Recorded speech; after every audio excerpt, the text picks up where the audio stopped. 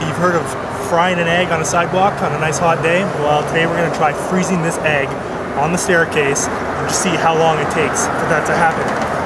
So here we go. Right now the temperature is about minus 24 degrees Celsius. Wind chill makes it feel more like minus 32. It's cool science number three.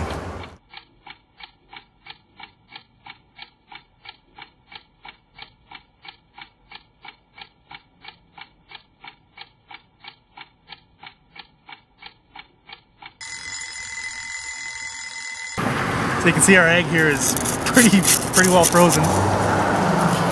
And this excellent experiment certainly proves that this weather is nothing to yolk about. Uh, every pun intended. Get cracking to stay warm.